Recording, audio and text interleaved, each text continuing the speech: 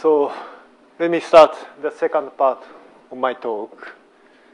So title of second talk is the Bragg curve counter at low and intermediate energies. What is a low and intermediate It depends on the person.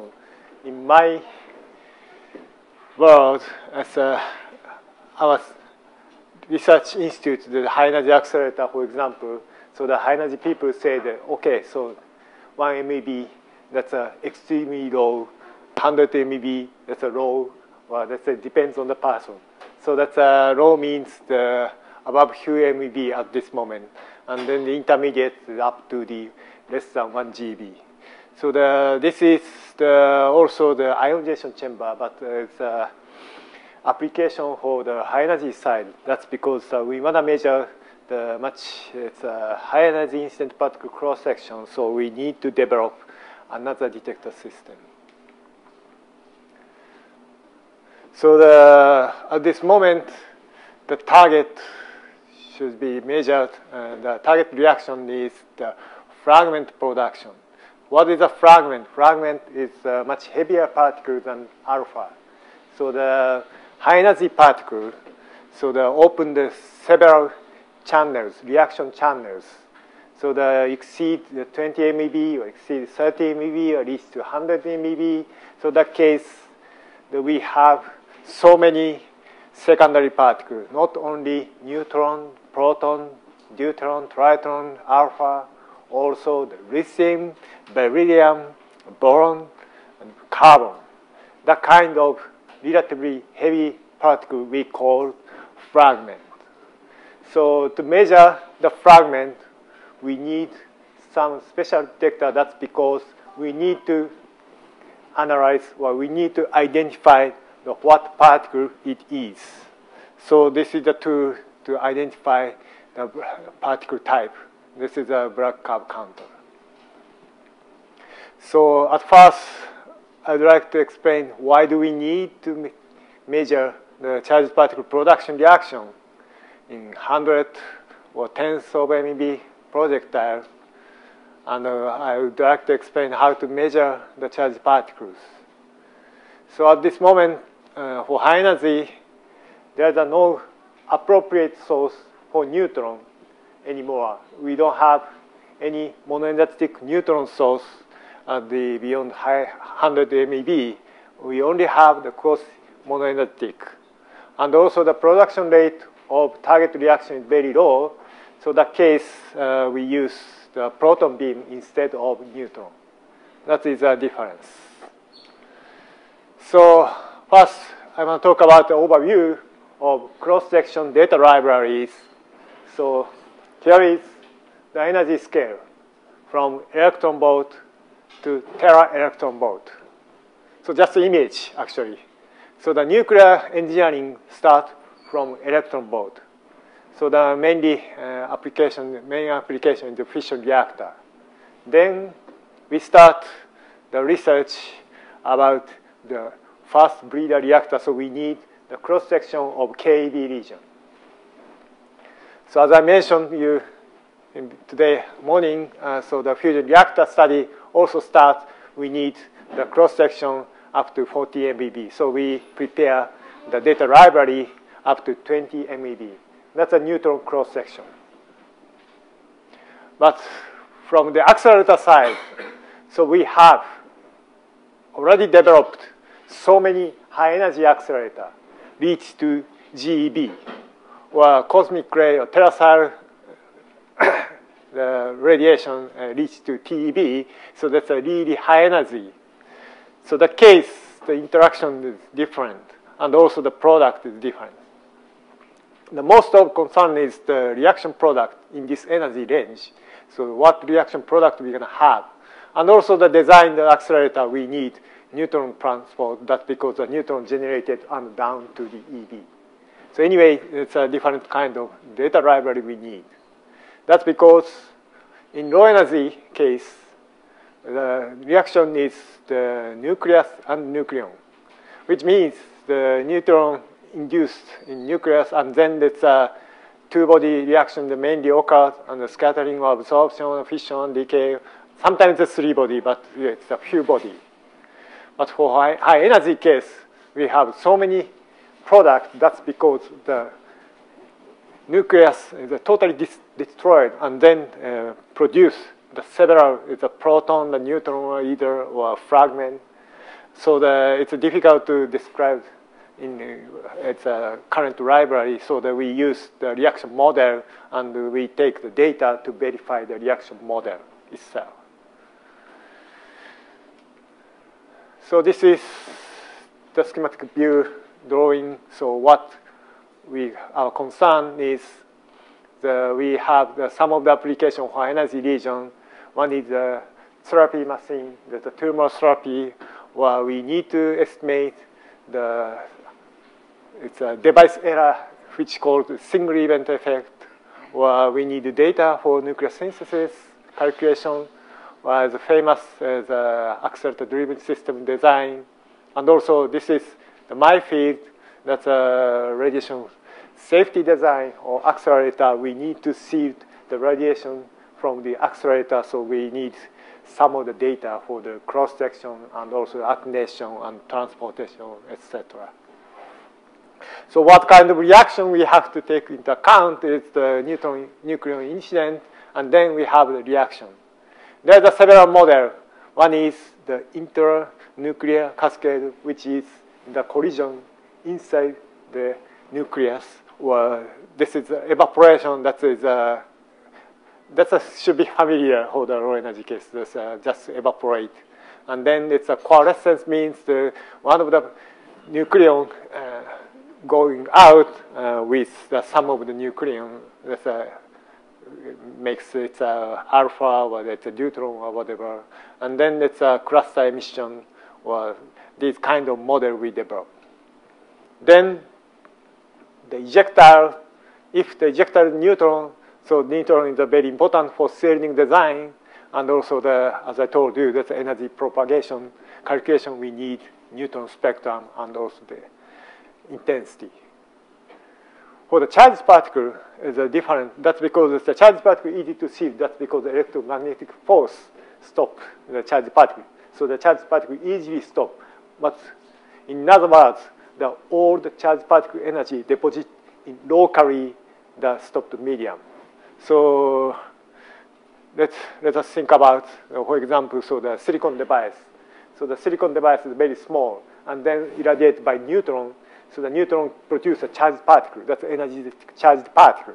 And then the energy totally deposit in, within the device. So what happens is the information held by the device is changed or leaked or disappear. Or that case, we have some of the error of the device. Or ourselves, the human. I mean, it's a, so the, for the tumor therapy, the ion beam inject to the human body. So we need to explain how much energy deposit and how much secondary produce, and then uh, how much effect we're going to have. That kind of calculation, we need some data. But not only data, also that uh, model is very important. That's because uh, we cannot take all the data, the part of the data, and then verify the model, and then do the calculation by using the model. So actually, we need the neutron data, that's because the neutron is everywhere, for example. And this is the, one of the examples for the our machine. This is a 3 GeV proton accelerator housing, and then let's uh, produce a neutron. So how much neutron we're going to have is uh, 30% is high energy. That's a 20 to 100 MeV.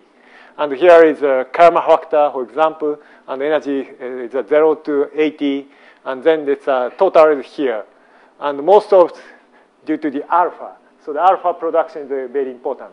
And also the, we, you can see here the red one is the other, and also the elastic, elastic component. So we need to estimate the cross-section and also the energy of secondary particle to estimate how much energy deposit locally by neutron. Actually, neutron itself is a no impact, just pass through. But once neutron makes some of the reaction, and then huge energy deposition occur locally. This is the example of the single event upset. So as I told you, that here is a silicon device. So neutron comes in and make some of the reaction, and then that's convert to the charged particle. So his energy deposit totally in this device. So this is the spectrum. Uh, here is the energy, the, the log scale, and uh, this is the flux. And here is the sea level neutron flux. So you can see the high energy component. So these components can make some of the fragmentation and produce a charged particle, then affect the devices. And of course, in space, that's a much severe condition. That's because the charged particle, energy charged particle irradiate the spaceship and then make a neutron or charged particle itself produce such kind of heavy fragment and affect the device. So this is rough, the plot of data situation. So up to 20 MeV, we already do the plenty of effort to prepare the data set for the application. It's a fusion reactor and also the fast breeder reactor and the fission detector. So we need the neutron cross section as well as we prepare the proton, deuteron, triton, and alpha production. So the several data is available up to the 20 MeV. And for proton, uh, down to uh, up to 20 MeV, the data is partially available, but not so totally. And then it's uh, above the 20 MeV, so up to 1 GeV. So uh, we have the, some of the data on neutron. Uh, I talk about roughly in here, and also that's a heavy ion, uh, I mean fragment uh, production is a very huge data. And uh, so that uh, the source problem, we also try to take the proton data and some of the data available, already available, but uh, focus on the fragment, that's few data, so we need to develop the detector system. Of course, we also need the extremely high energy data, but the flux density is not so high. So at this moment, we don't need it actually. So the target region is uh, around 100 MeV. That's for the high neutron flux, relatively high neutron flux, and also that uh, we use the energy for therapy. That's problem. So anyway, uh, we need to prepare the data. To prepare the data, so we need some machine. So uh, several, this one is uh, only in Japan, but uh, several machines available in worldwide, so that we can cover the energy for the AVF cyclotron or this uh, ring cyclotron uh, for up to 400 MeV. So we can use that kind of machine. So neutron versus proton, that's neutron incidence versus proton. So that's a comparison between what happened, uh, what, what difference we can have. So neutron, the neutron produced as a secondary particle, you know. So the intensity is relatively low. That's because secondary. And uh, it's uh, really difficult, impossible to focus. That's because of uncharged, just collimated. Or difficult to count precisely yeah, that's uh, because of the interaction is limited. And also it has the background or it's uh, in high energy region, we don't have any monoenergetic source. Only the, we have the quasi monoenergetic source. That's a problem for the 100 MeV, around the 100 MeV region. In contrast, the proton, proton, you know, that's a charged particle, so we can accelerate directly. That's easy to accelerate, easy to focus uh, easy to available high intensity. And we can count precisely by using the counter or even the Faraday cup. That's a no feature of the neutron case. And the background is really small and it's a monoenergetic. That's because we can select by using the magnet system and uh, so the proton beam is available. So uh, our strategy for the intermediate energy reaction cross-section data uh, the measure the cross-section using a proton to evaluate the reaction model, then apply to then apply to neutron. That's uh, our strategy. So that's uh, we move to the proton experiment, reason the proton experiment. So how do we measure the fragment? So there are three typical methods. So one is the already explained the delta EE, that's the DEE method. So the fragment comes in this direction, and then the thing, it's a transparent detector, and then it's a stop detector, the combination to detector system. So we know the total energy and energy loss. So the energy loss, from the energy loss, we can determine the particle atomic number, and then it's uh, energy resolution is relatively high. That's because uh, we can use the nicely scintillator. So this is the, one of the methods to measure the fragment. The other is the time of flight. So the fragment uh, passes through the very thin, the trigger detector, and this is start signal. So we measure the energy and also the time of flight. So we can check the relationship between energy and the time of flight, and we can determine their mass, not z. Of course, we can combine, combine the, these two methods. So the ETOF is the energy time of flight with the delta EE, so we can determine the, both of the, these parameters. The problem is that the delta EE, the, we have the transmission detector, but this should be very thin. That's because of the now the our particle should be measured is relatively high energy loss. That's because lithium or beryllium or boron, that's a heavy particle. So that we need to prepare much thin detector, right? Otherwise, the, most of the fragments stop in here, and we cannot measure anything about that. For the energy time of flight, that's also have difficulty. That's because we have the certain time of flight path, which means the solid angle of the energy detector becomes small. So the count rate uh, problem we're gonna have. So the Bragg curve counter, that is another way to measure the fragment. So the, this detector itself determines the fragment energy and also the G number. Uh, that's because the, here is the cathode and here is the entrance window and this is anode, and again it's a grid. So actually this one is a gridded ionization chamber, but the length is much longer. Then the fragment coming in from this direction, so the energy loss distribution is like this. That's a Bragg curve, you know. And this signal, uh, if we check uh, lead the anode signal, so the time distribution of anode signal have this shape. So later I will explain the detail. But anyhow, how can you do that is the total integration is correspond to the energy. And height of this peak is correspond to the G number of fragment. So combination of two parameters, we know the energy and G number of fragment. Here is the energy loss of fragment at this moment. So for example, so it's a proton and alpha and lithium, beryllium, boron, carbon, nitrogen, oxygen, fluorine. And here is the range, uh, the energy uh, the, of the particles. So 0 to 20 MeV, for example. And the vertical axis corresponds to the range, range of in silicon. So the normally, uh, typically we use the, for example, the delta E detector, we use the silicon detector. So the how much silicon detector we're gonna have, it's uh, for example, it's uh, 10 micrometer silicon or 11 micrometer silicon. So that case, the, of course, the proton is no problem. It's, uh, even the one MeV proton can pass through the silicon detector and make signal for E detector, so we can measure the proton easily. But for lithium, for example, that's a 5 MeV lithium can stop uh, within the 10 micrometer silicon. So we can't measure the less than 5 MeV lithium by using the delta EE system. Or it's a carbon.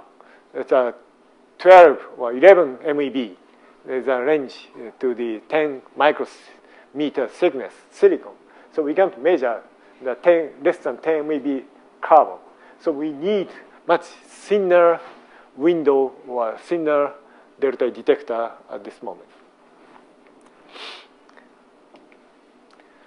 So the Bragg curve, maybe everyone knows that uh, here is a range, and this is the energy loss, the DDX.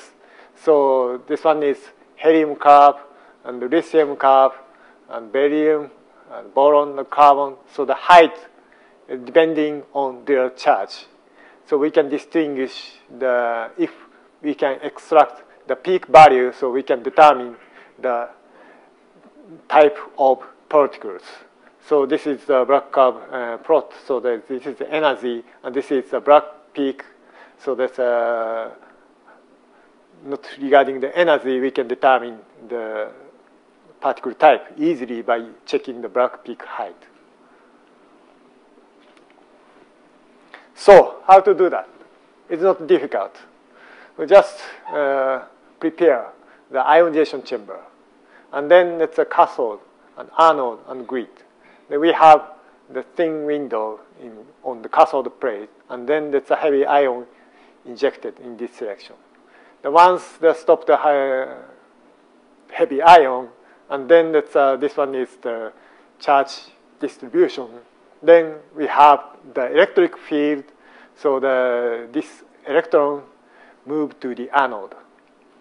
So as I mentioned to you, that the grid is totally it's, uh, separate the ionization chamber to two, two parts, and then the only checking the this path. So the first, uh, this is the time, and this is the signal. So that's the first part beyond the grid, so that makes some signal, and then the next part uh, beyond the grid, and then makes signal, and then that's a, the time distribution of signal is just opposite of this shape.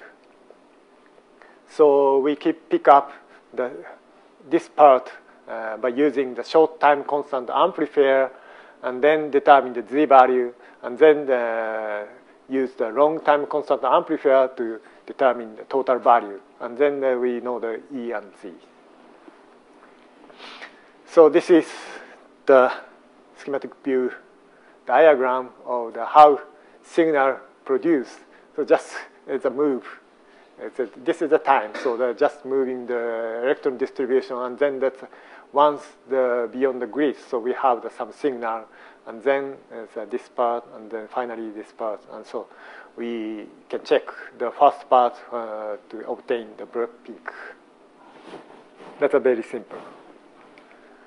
So this is actual installation of Bragg counter. So we use the cathode, and here is anode, and this is the grid. So just before the anode, we insert the grid the total length is 30 centimeter. That's uh, much longer than before, so which means the electric field is distorted. That's because of the ground level. So we need to prepare the the gathering to uh, form the uniform electric field. So we applied high voltage, and then it's uh, here is the resistor chain. Uh, so the gradually uh, drop the high voltage and make the field uniform field. And then that uh, we have the entrance window here. Uh, typically, we use the 2.5 micrometer aluminum Mylar, but recently we use the less than micrometer thickness, the silicon nitride uh, window, and then the fragment can pass through and enter in this section.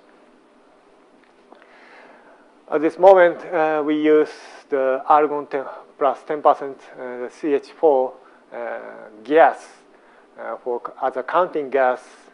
That because the, this one is not neutron measurement. That's a proton measurement, so there's no neutron around here. There's no background, actually. And then that's uh, the point is this one, this pressure. As I told you, that we can adjust the thickness of detector itself so that we can set the require the pressure to stop the fragment. This is this case the 200. That's a actually negative pressure. And then it's uh, for the operation makes easy. So the counter was operated under the gas flow mode. So the low pressure gas flow, and every time we replace the gas to maintain the quality of gas. Okay. So this is the picture, the, the field shaping ring, and this is uh, this one is the biggest one, so that uh, looks very large, but uh, we also have the small one. So the shape is cylindrical, and then uh, this side we have the entrance window. So that this side is connected to the scattering chamber and uh, comes from fragment. Fragment comes from. And here is the picture of entrance window. Uh, one of the examples is uh, silicon nitride. It's a window. Uh, that's a very thin. That's less than one micrometer. This one is uh, already commercially available, so we use that one.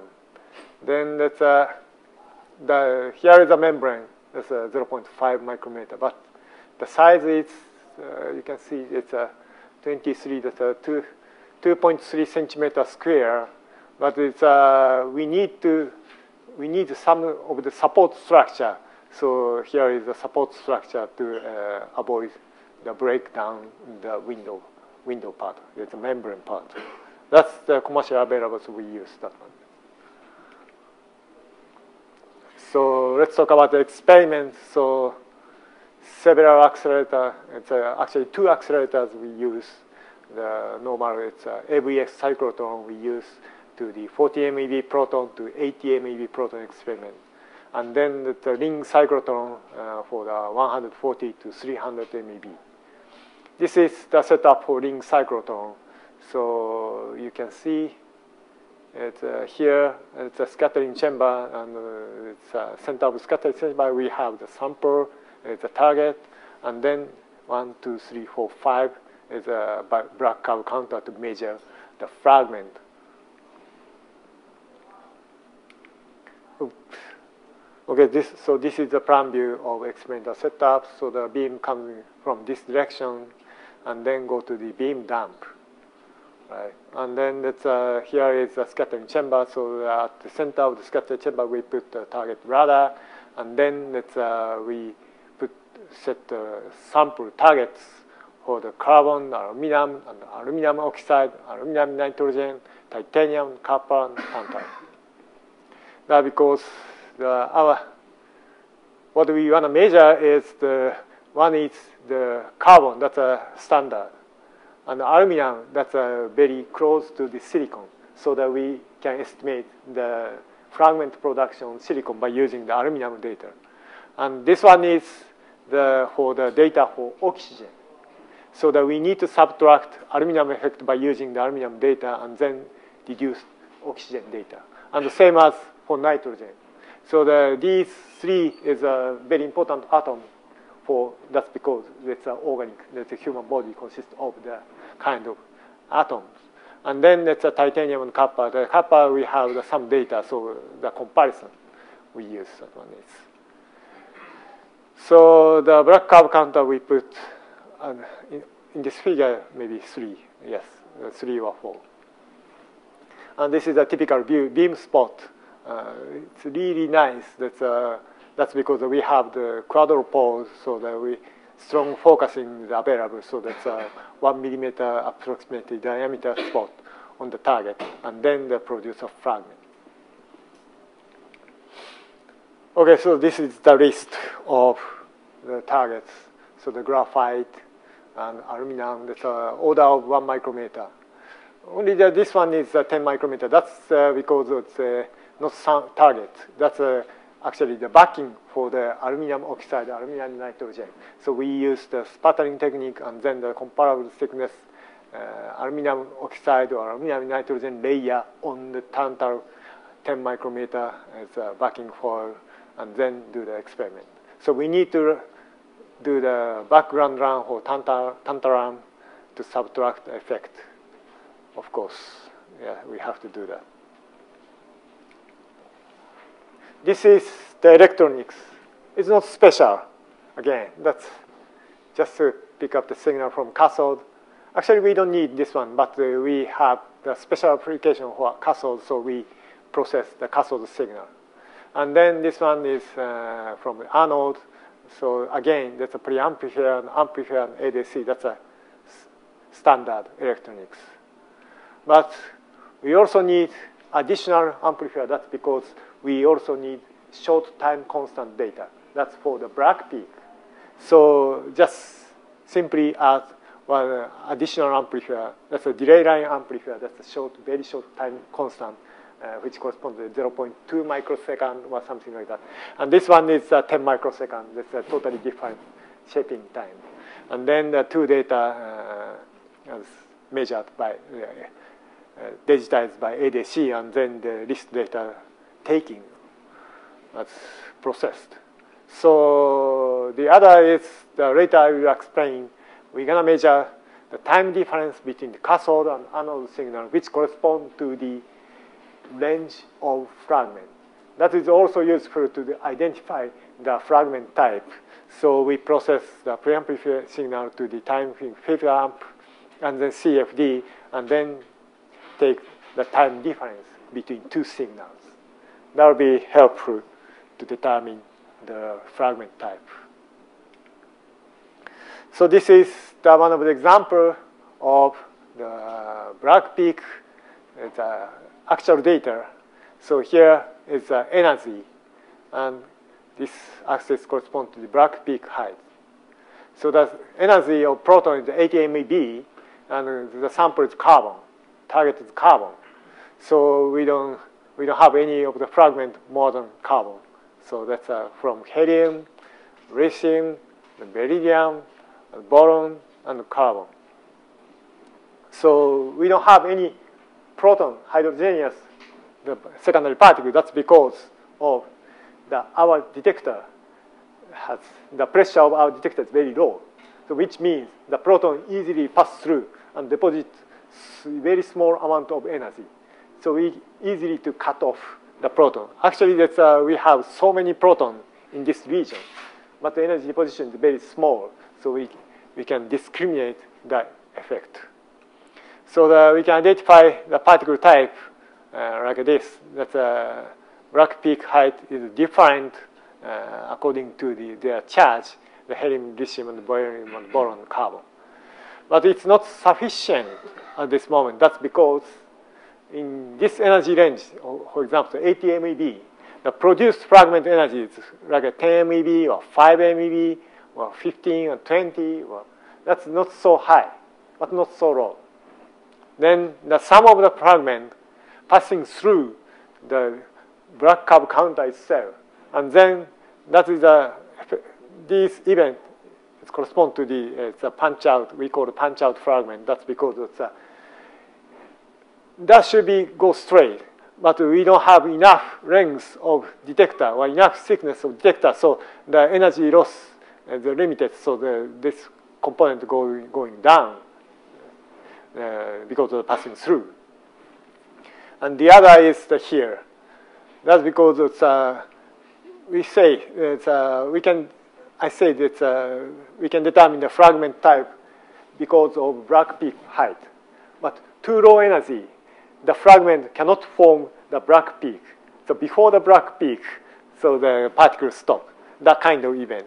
So that kind of event we can separate by using the time difference method. So later I will explain the, the time difference between the cathode and anode. So the signal uh, correspond to the range. So the at this moment, the, these particles doesn't have Bragg peak, but still have the dependency of range.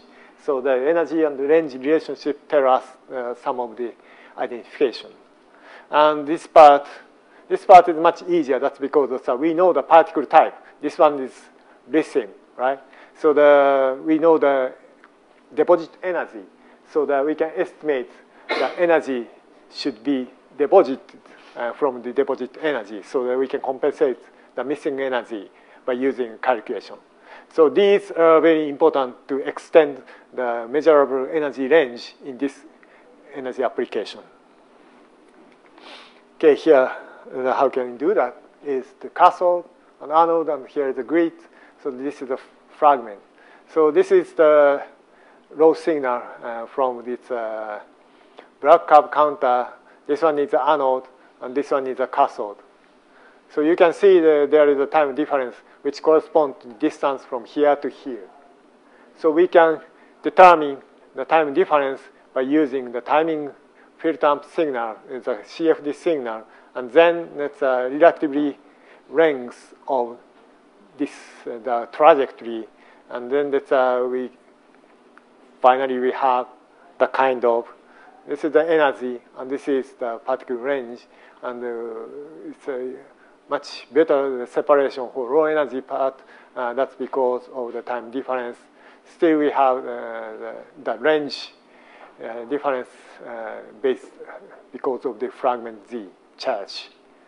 So you can see it's a helium and helium 3 component, and lithium 6 and 7, and beryllium 7 and 9, and boron and carbon. So we can.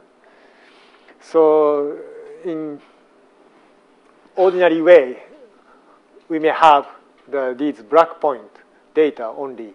That's because of the this one is correspond to the this one is correspond to the flat part, right?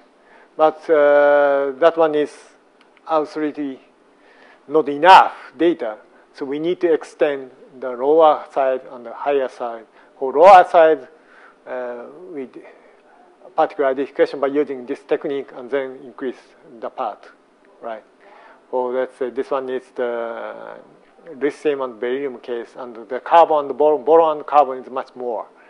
And then the high energy side, this part is the deduced from the energy compensation offline analysis for this part.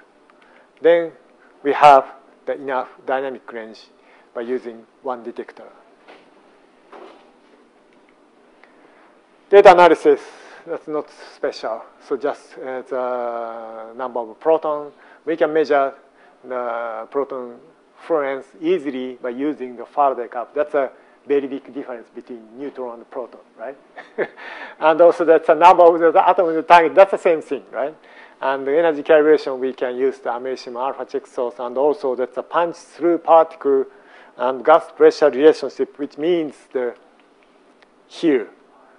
So that we know the gas pressure, we know the its uh, range and the maximum deposit energy. So that that point also can use for the energy calibration of this.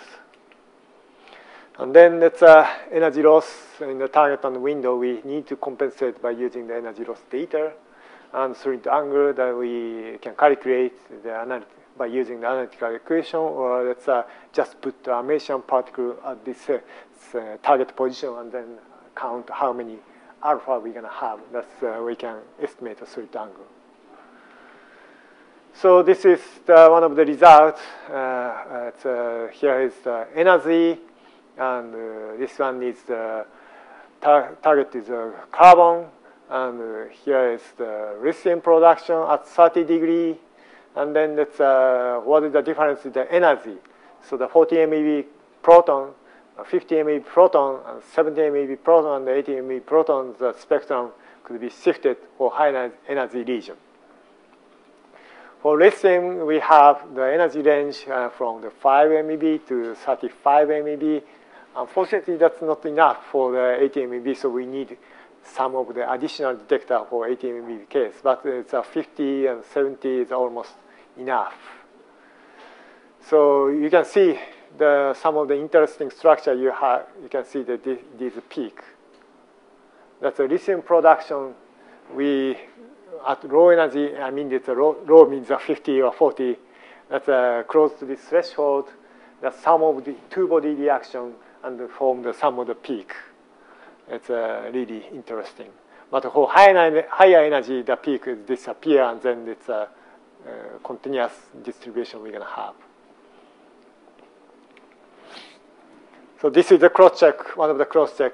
And, uh, that's the purpose of the cross-check, but uh, that's the basic idea to what can we obtain by using the recoil, uh, the counter telescope. That's not different than the, uh, the Bragg curve counter. So Bragg curve counter can measure the, this part, right? That's, uh, that's because of the no delta E, no transmission, just the window part.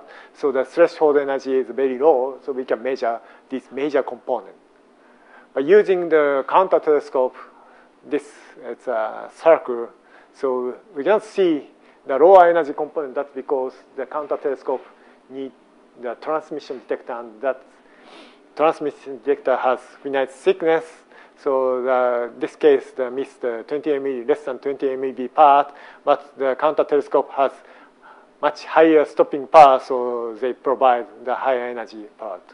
So these two data is consistent for the aluminum P, aluminum target and the proton incidence and the lithium. It's a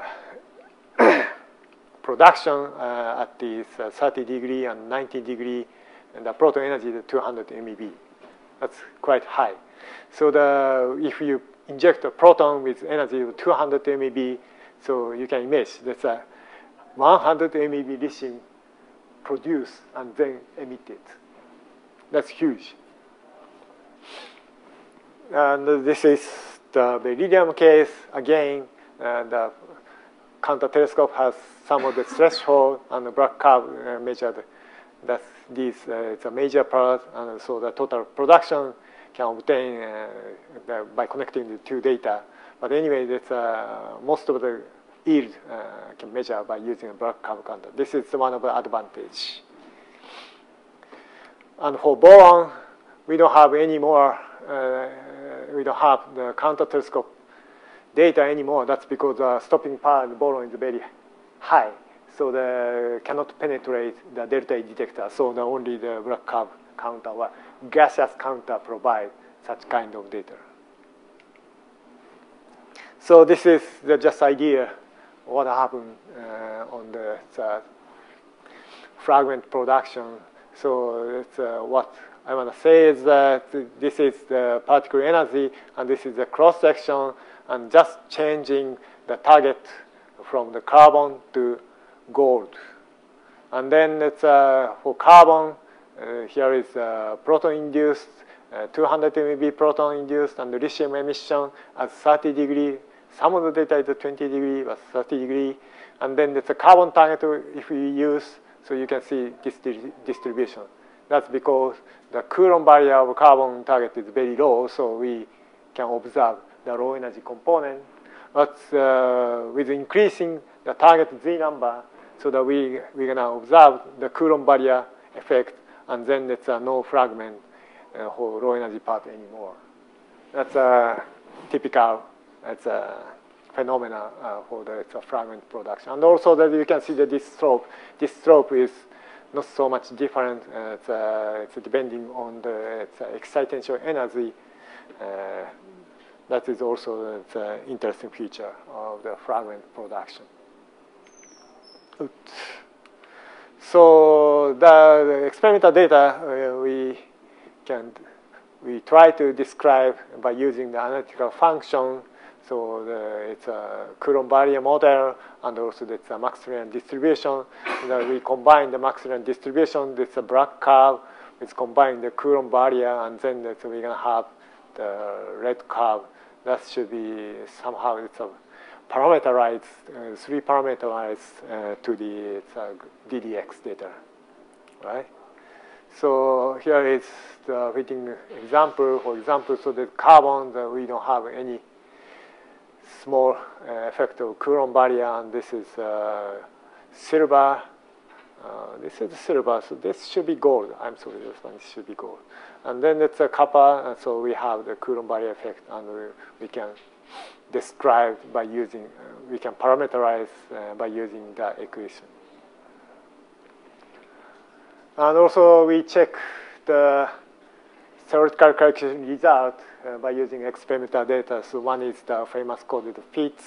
Uh, that's a fragment this production described by the combination of two models in intranuclear cascade stage and also the evaporation. That most of the fragment uh, from the evaporation stage from this system, but uh, you know, what is unique is that this code can choose the models intranuclear cascade stage and also evaporation stage.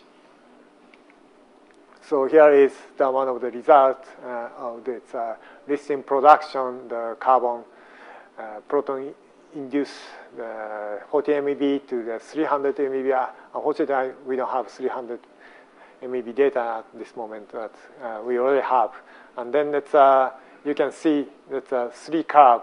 It's a black and red and blue. So what you understand is uh, what is the difference between three is uh, just intranuclear part. So intranuclear parts, actually, they, the process does not produce the fragment, just only the proton and neutron. But uh, that stage is very important to estimate how much fragment we're going to have. That's because it's natural. That's uh, too much emission of intranuclear cascade process, then less nuclei, so we cannot form the fragment. So uh, maybe we need to suppress the intranuclear uh, cascade stage, the particle emission, and then uh, nicely uh, trace the experimental data. Anyway, so that's, uh, we need to know that what happened on the calculation, and we need to evaluate the calculation model, which calculation model should be used. Actually, this code is for the several places, not only that's uh, shielding analysis, and also that's uh, even in the treatment program, they use that kind of tool. Of course, the major part is ionization, so that uh, we don't care about this, uh, such kind of small difference, but we do the research about the impact of secondary neutron or some of its uh, activation or it's a gamma or the kind of it's a evaluation. So we need uh, much precise reaction model, and the model should be evaluated by using the experimental data. One of the difficulties, this one is the for low energy. This, uh, this one is a 40 MeV and this one is 50 MeV. So we have uh, some of the structure Actually, uh, the kind of the intranuclear model or something, cascade model was uh, that kind of model comes from the high energy side, so they don't care about the nuclear structure, just collide the nucleons. So that uh, we need some add, add, some of the information of the residual nuclei and then apply. Uh, otherwise, we cannot uh, describe the kind of peak structure. That is one of the findings we do the experiment. So let me talk about uh, briefly about the neutron-induced reaction measurement also. We try to take the neutron data also. That's up to now the proton, but we also evaluate, try to take the neutron data and then let's uh, do the sum of the comparison. So the neutron source, this is a typical neutron source. That's the JAEA that Takasaki laboratory uh, has the neutron generator uh, they have the AVF cyclotron, and then the proton beam coming from this direction. And then they install the lithium target. The lithium target uh, is metal, so just self-support lithium installed in vacuum chamber. And then the nuclear reaction occurs and then neutron uh, passing through this direction. And proton beam also passing through the target, so we need some of the magnet system to remove the proton component from the neutron. So we need to separate the proton and neutron by using this magnet. And then so much background we have, so we have that tight collimator system, and then we can use the neutron. So what is the problem is the distance from here to here. That's uh, typically it's a meter of distance. So the intensity of neutron flux is quite low. That's a problem. And also that uh, monitoring of neutron flux is a little bit difficult. That's because the uniformity of target is not so good. And also that, uh, so we put uh, some of the fission chamber to monitoring the relatively neutron incidency. That's because, uh, of course, we can measure neutron, but we need to put a sample to measure the cross section. So that case we cannot measure. So the, we need some of the relative monitor, so that we choose the fission chamber and here, and also there's a beam current we use. So this is the typical energy spectrum of neutron at zero degree. So that's uh, neutron energy 75 and 65 case and 55 case. That all the neutron have this uh, peak structure. These are what we need to measure, uh, so what we use for the measured cross section, but we also have some of the breakup component. That's the problem. That's because uh, we cannot separate the component. If we have enough flight paths, we can separate. But uh, if we don't have, so uh, it's difficult to separate. So we need to take into account the effect of this component. And uh, this component is typically is the same amount of the peak, so one by one is the ratio. So that will be uh, it's a problem for the it's intermediate energy application. So at first, I will introduce uh, the typical the counter telescope experiment. Another one is done in uh, the JRET Takasaki, and also the same experiment was done in and much more data produced the Uppsala group and the Lubanda group also do that same same experiment. So what we do, what we done is uh, it's a neutron coming from this direction, here is a vacuum chamber, and here is a sample to measure the proton and the deuteron, and triton, and alpha, so we put the counter telescope at the 25 or 45 or 65 degree. So this is the schematic drawing of counter telescopes. And first we have the Mylar foil, and here is the vacuum, and then the particle coming through from this direction. And then first part is the low pressure the gas proportional counter to tag, check the heavy particle. And then the next one is the very large. It's a 900 square millimeter and a 100 micrometer thick the silicon surface barrier detector. And then we have the scintillator. At this moment, we use the barium fluoride scintillator. That's because the, at first, we try to do the particle identification by using the slow and fast component. The other is the it's a timing resolution is very nice so that we try to identify the neutron energy by using the time of flight information. So anyway, that's uh, these three stage it's a telescope we use. But actually, the honestly speaking, that's really difficult to set up this uh, detector. That's because you see it's a barium fluoride, which provide nanosecond pulse. It's very fast. 10 nanosecond or something like that. SSD, that's a microsecond or sub-microsecond. And it's a proportional count as a microsecond. These are different timing property, and we have to do the coincidence between the two detector and the other detector. And then it's a really headache. That's because it's a, we can use the timing check uh, for the alpha particle by you by using the alpha particle, we can check the timing property of the gas and SSD. But uh, really difficult to use timing, check the timing of the barium fluoride. That's because the alpha particle completely stopped SSD. So what we do is just do the real beam. So it takes long time. That's because the production rate is very low. So the, how to say, the electronic analysis, is, adjustment is takes really long time, so I don't recommend that one is actually. So just simply the SSD and the barium fluoride, that's uh, much simpler to operate. So here is the particle identification spectrum between the scintillator and surface barrier detector. So you can see there's a proton event and the deuteron event and triton event. And here it's a scale out, but some of the alpha we can observe. But no actually fragment. That's because the low production rate. So anyway, we can determine, uh, we can pick up the proton, deuteron, triton event by using this setup. And here is the time of flight. So you can see it's a it's a walk effect. But anyway, so that we can see the peak component, which correspond to the peak neutron. So only we we only pick up the component to deduce the cross section.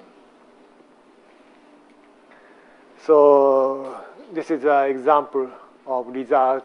So yes, we have the finite threshold even in the proton. That's because of the several noise and also the time of flight, uh, several difficulty. But still, even in that case, uh, we have the proton data above 20 MeV, and it's a deuteron, the triton, and the alpha. It's a high threshold. And the line is the LA150, that's the ENDF. So that's, uh, I don't know why in here, but uh, it's a good agreement, except for this part. Anyway, so that we can measure the proton, deuteron, triton for neutron incident by using the counter telescope. So how about fragment? Can we measure fragment for neutron? That's the one of the challenge. And a bit complicated. I don't know I can explain correctly. But what we did is the, this is the normal geometry. So here is a collimated neutron beam, and we put the target, and then we put uh, some of the, the, detector system. But this one, uh, problem, that's because it's uh, this distance. So we lose the most of the fragment. That's because of the slit angle. So we try to do this geometry. So the neutron coming from this direction, and then the target uh, put on the cathode and uh, on beam alignment, and then the grid and anode. So that case, the most of the fragment we can measure. Uh, that's because it's a sample, uh, the target uh, is inside of Bragg curve counter. So this is the setup. So what we improve is that we give up the time of flight. That's because the black curve counter is microsecond time resolution. So that we put the Bragg curve counter as possible as close to the lithium target. And now it's a 1.3 meter. That setup is also available for the, I think Uppsala also has such kind of setup. That's uh, maximize the neutron flux. And then that we need to separate the neutron and the proton by using uh, the clearing magnet, this bending magnet. And then if we dump the proton somewhere here, so the plenty of neutron we're going to have, the background neutron we're going to have, and it will be problem. So the proton guided to this direction, and then the heavily shielded beam dump we prepare, and then it's a separate, uh, impact uh, from the background neutron. So this is the setup for fragment measurement of neutron in induced fragment cross-section measurement. Right. So what happened on that is uh, this is the real uh, structure. So we again have the field shaping ring and also there's cathode and we, here is a sample and then it's a grid and anode. And again, it's a gas flow mode and we inject uh, lower pressure 200 torr argon 10% metal mixture gas. Uh, it makes background. But anyway, so we use that one is, and then it's, uh, this one is field shaping ring. And we have, the again, the sample changer mechanism. That's because it's, uh, we need to change, uh, we need to take the background data uh, to ch by changing the sample without changing the condition. So we have uh, some of the mechanism. And then here is a picture. So you can see that uh, gear system, and then it's, uh, this is the sample part. And then it's, uh, at this moment we put the checking source to check the it's, uh, it's, uh, performance of detector. And then one of the change is here. You can see this is the anode plate. So we applied the segmented anode plate. That's because it's uh, later I will explain why we need this structure. But anyway, so that uh, this one is the uh, same diameter to the sample, and then it's, uh, this one is uh, separate, electrically separate second uh, electrode we call the peripheral anode, and this one is the central anode, and then it's another anode around here. So what should we care is this effect. That's because the sampling here and then, oh, I'm sorry, this one is some problem. That's maybe Bragg peak, and this one is, I don't know, it's energy loss or something. And this is a phi or something like that. And it's, uh, you can see, this one is the proton experiment case. But the neutron experiment case, the pro fragment produced in here, and then sometimes is angled. And then the uh, the, by using the electric field and then they observe the anode signal. So as you can see, that the signal uh, has the different Bragg peak height. That's because the, we only measure the projection of this distribution. So we don't want to do that. such effect. So we divide the electrode and then check the, which electrode uh, has a signal. So the once the straight signal uh, fragment, that it's only makes the it's a central part, but it's an angled one is a, not only the central, also the peripheral one. So the two signal will be available. So we can discriminate the event by using the peripheral anode signal and then select the straight uh, fragment component. That's uh, some, some of the software coordination.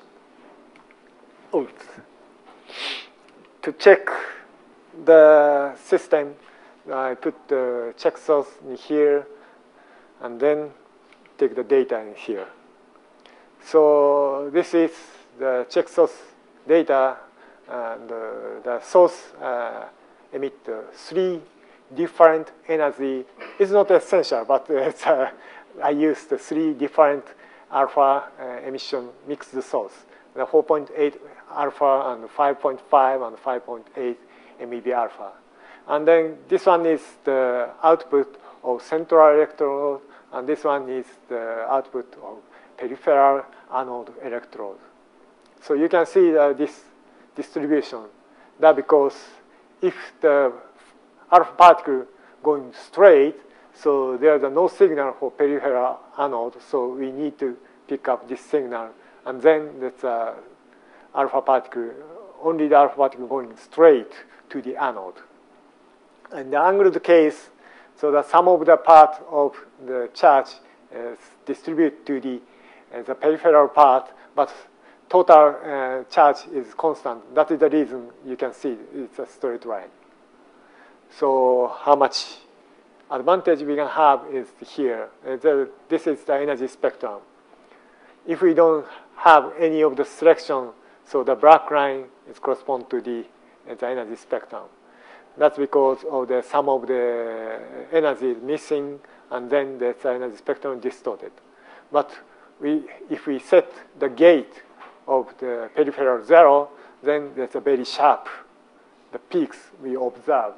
That's, which means that we can successfully it's a discriminate the angled event. So how much effect is here? That's actual data. So the neutron 65 MeV uh, irradiate uh, the Bragg curve counter with the sample of the gold and the a polyester film. So what we want to do is uh, we want to measure the fragment from carbon, fragment from this helium and the lithium and the beryllium and boron. These are all data. So which means uh, these data contain the angled fragment effect.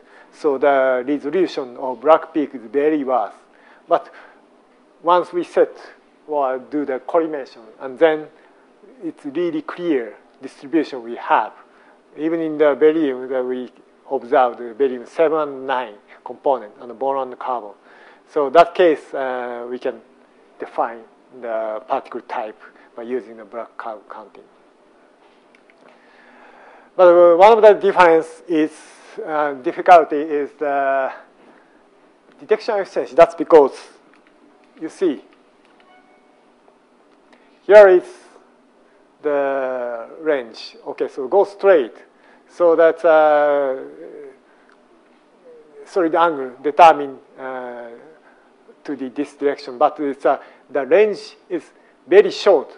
So we can accept the angled one also. So it's a solid angle or detection efficiency depends on the, their own range. So we need to correct the effect. So how do we do that is the, again, the alpha source we use, and then the artificially change the, its range by changing the gas pressure, and then check the counting rate.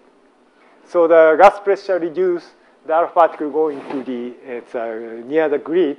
On that case, the detection efficiency is very low. And then it's uh, gas pressure increase, the alpha particle range is shorter, so the much more the much more coverage angle. Uh, so that case, that's uh, detection solid angle is very large. So we also do the simulation and then uh, take experimental data and check the kind of uh, the efficiency. So after that, uh, to obtain, uh, deduce the cross-section, we use the, this solid data uh, for according to their range. And the range is uh, determined from the, their energy. So the actually effective energy, uh, for example, helium is 4 to 8 MeV, or lithium is uh, 8 to 16, and beryllium is uh, 8 to 22 or 24, and boron is 10 to the 30 something. And uh, this is the energy range we can measure for fragment. But anyway, it's a really, this one is a trick, and uh, we never have such kind of effect for proton experiment. Only for neutron experiment, we need to consider about that. So this one is the polypropylene plus uh, gold foil. That's a foreground to measure the carbon. And this one is the gold foil only. This is the corresponding background.